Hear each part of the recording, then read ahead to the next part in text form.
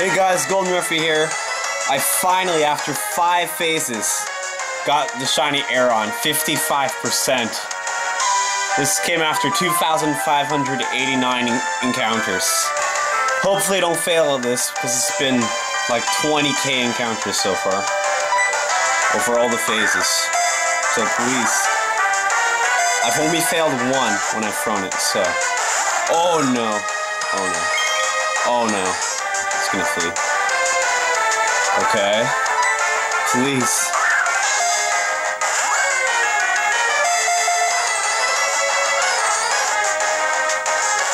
No. Please, I don't want to fail Aron. No.